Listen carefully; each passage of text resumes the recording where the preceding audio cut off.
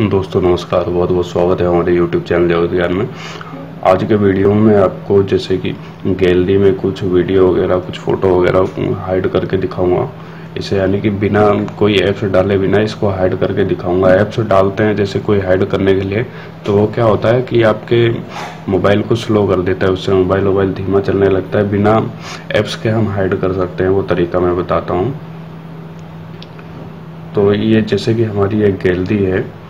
ये इसमें ये वीडियो वगैरह पड़ी है।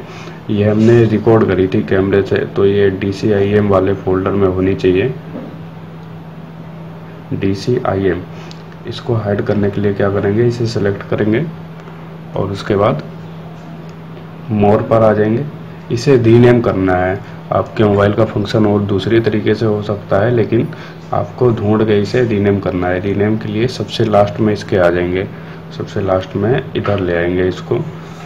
और लास्ट में आपको क्या करना है? सिर्फ़ एक डॉट लगाना है। ये वाला डॉट लगाना है। और उसके बाद ओके कर देंगे।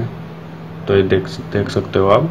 जैसे ही मैंने इसे ओके किया, मेरा फोल्डर पूरा गायब हो गया। चलिए देखते हैं गैलरी से गायब हुआ कि नहीं।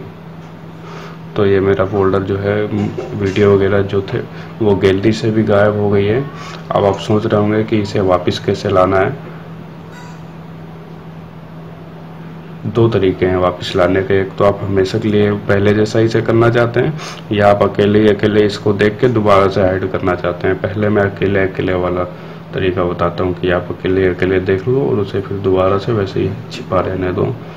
सो हाइड इन फ़ाइल का ऑप्शन आपको ढूंढना होगा। मोर पर आएँगे। सो हाइड एंड फ़ाइल करेंगे। आपके मोबाइल में शायद दूसरी जगह पे फ़ंक्शन हो, लेकिन आपको यही वाला फ़ंक्शन ढूंढना है। यहाँ पे आपका जो पहले वाला फोल्डर है, वो दिख जाएगा dot D C I M इसके अंदर मेरी कैमरे की वीडियो वगैरह पड़ी हुई हैं। ये बढ़िया से काम भी करेगी, कोई फ़र्क भी नहीं पड़ेगा। ये मैंने कंप्यूटर रिपेयरिंग के लिए एक वीडियो बनाया था।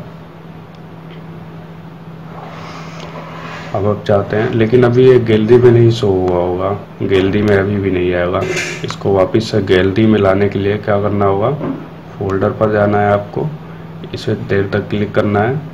और फिर इसे दोबारा से रीनेम करना है। इसके आगे आपने जो डॉट लगाया था, उसको हटा देना है। डॉट का मतलब फोल्डर हाइड करना होता है। ओके कर देंगे। तो अब ये फोल्डर हमारा दोबारा से दिखने लग जाएगा। अब गैलरी में आके देखते हैं। तो ये देख सकते हो, गैलरी में दोबारा से आ गया है।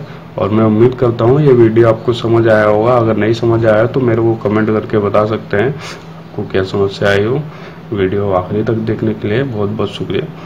धन्यवाद।